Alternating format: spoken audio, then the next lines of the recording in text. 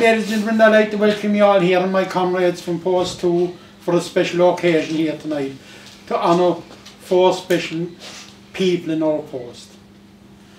They were the pathfinders for us. They were the first people that went overseas with the Irish Army serving the UN. And they're the main pathfinders which many thousand of us followed in their footsteps. I'd like to thank them. Furthermost, I would like to thank John, Mary O'Mahony and their family for letting us host this presentation here, here tonight. Thank you.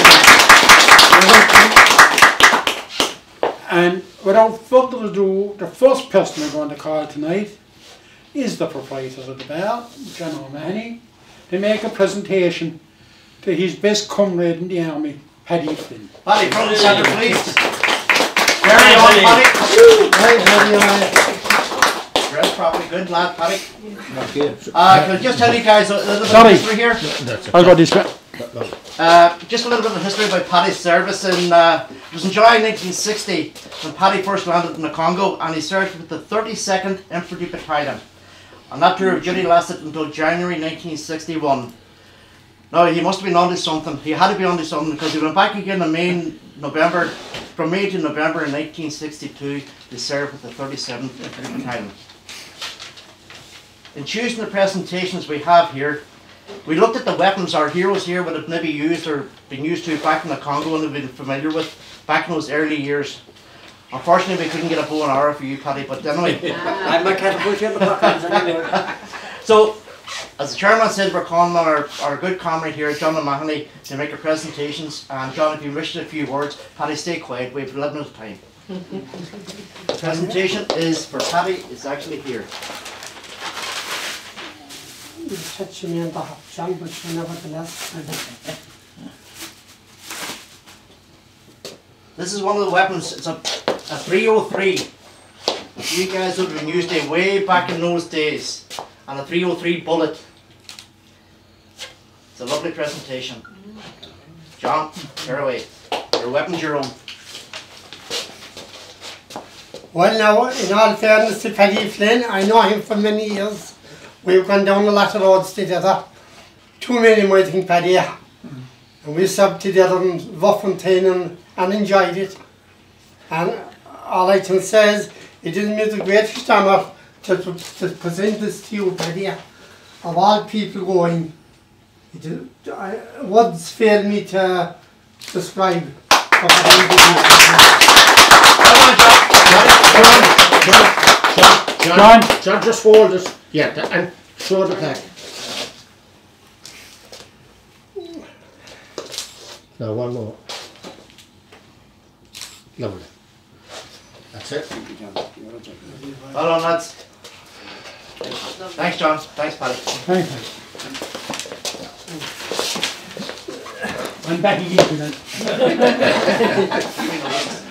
Our second presentation tonight, I'd like to call on our treasurer, Bobby Woods, to present it to our president of Post 2, Matt Murphy, please.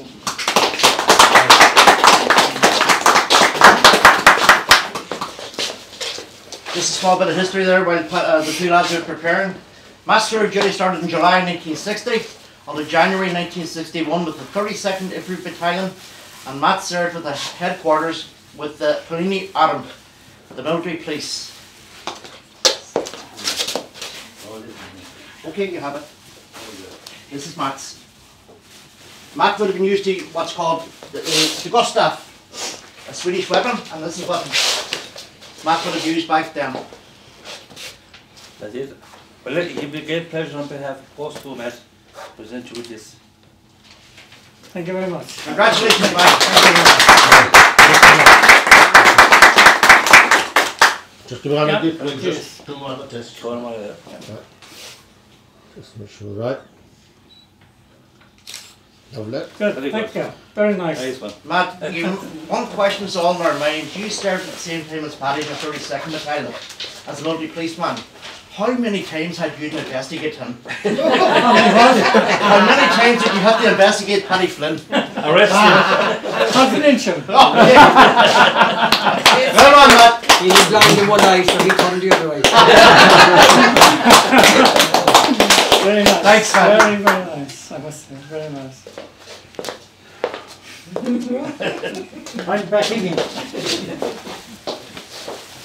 Our next presentation, I'd like to present this myself to a very good comrade of mine. How I showed him how to play darts and pool.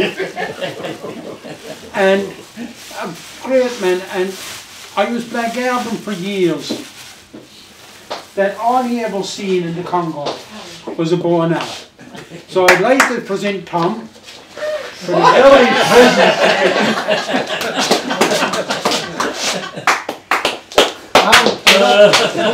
No, no, no, no. I had to get that into me. I'd like to make this presentation to one of my best friends in the town and in the post, Tom Twomey. Front centre top.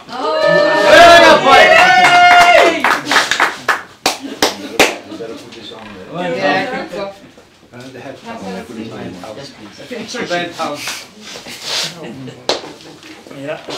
I'll just give a bit of information about Tom. Tom's first trip to the Congo was in November of 1961. You were, you were not a cop man to prison, prison There was a wee thing behind this, he'll tell you One minute, one minute, do not finish. Congratulations.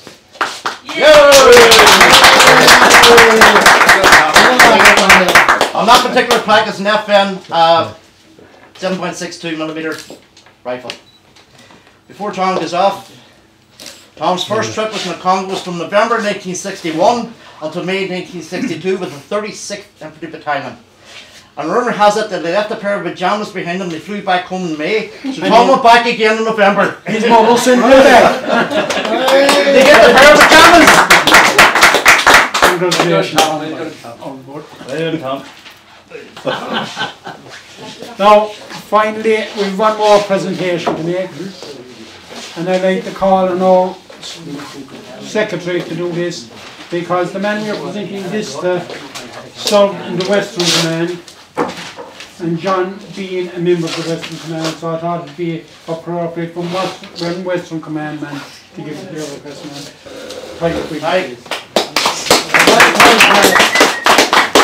Old comrade, the Western Command man. That's uh, just a wee bit of history here on this here. I'm not going to go into a terrible lot. Under the NCOs course, trained by fantastic NCOs in the Western Command. Tig myself for Western Command, him a hell of a lot earlier than I was, Pathfinder. But uh, I'm eternally grateful to those who trained us in the Western Command. They were absolutely fantastic NCOs. And I never knew until years later that these guys had fought in Jadotville. Now, many of our men here, our, our comrades, our friends, our heroes who fought in, in, in uh, back in the Congo, they all were, they were all actually involved in skirmishes here and there, some big skirmishes. Jadotville is probably the one most to, to mind at the moment to most people, but uh, we're proud of all our Congo heroes in this in this uh, post. So I have the pleasure now to make a presentation from myself to fellow Western Command man. We weren't too sure what to present because we have all the different weapons there with a bow and arrow, with a Gustav, with an FN, and with the 303 there given to Paddy as well. Just so we weren't too sure what we were going to give this man. Can I ask you now, what were you doing in Jadotville? What were you in charge of? Not the drink, don't talk about drink now. You're in charge of the mortars. Took us a wee while to find this, Oh. but this is a mortar. Well done, Paddy. Hey. Congratulations. I'm proud to know you, Tadgh. We're all proud to know you. We're proud to know all these heroes who served in the Congo. Now, this is not bedded in properly, but you'll know how to do that. Two front legs are a wee bit dodgy. Your man apologised. So be careful with that. We'll, we'll pack it up for you after. Sean, yeah. just move, move. Yeah, so I can see. I'll turn this around so you can see the mortar. You can bed, you can bed that on Just look, after. at- look, Other at side, that. this- Down, Craig, a small bit. That way a small Yeah, bit. Is you okay there? That's it. We get another. Have you ever heard of a double feed on a mortar? No, Never. never. Yes. Did you? Yes. Who, who did you ever hear? Oh, I heard about it in Glenville. Well, I'm the only survivor of a double field Little. on an 81 millimeter mark. I don't mean this is a boast. And I end up in hospital. And I went from the hospital to the Congo because we were training for the Congo and we had a shoot on and I was the number two feeding the thing. There you I was are. too, I was too quick. I was blown out in the trench and they had to talk we were all dead. You look at us all the time. No, no, no. But one bomb went, but this is, this is Wilco Brennan, there was someone mentioned Wilco Brennan. Wilco? Wilco? Yeah, that was he was firing the eighty-four down below, before, you know, ahead of us. Yeah. And the one, one bomb went one way, and the other bomb went the other way, do you see?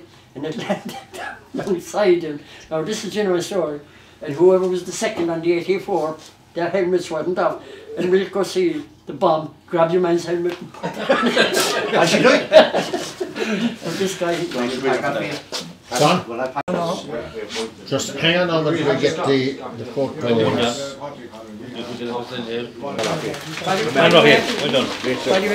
uh, can I have your attention a minute? I just want to point something out here. My second trip to the Congo, this gentleman's father was a sergeant there. And I didn't know him at this stage, even though I was in Kerry myself. But he called me aside one day. And he said, Flynn, come here, I want to word with you. See? And he said, come down here to me. See? And he said, what's the crack out here? That's the way he said to me, you know. What? Now I had to read between the lines as much to say, you don't do what you do back in the barracks. But I said, sir, if I get what you mean, I said, you're not in the barracks anymore when you're out here. That's all I want. Carry on, he said. he said, he, he, he wanted to be switched on. Because Jimmy Miley speaking, he'll get shot there.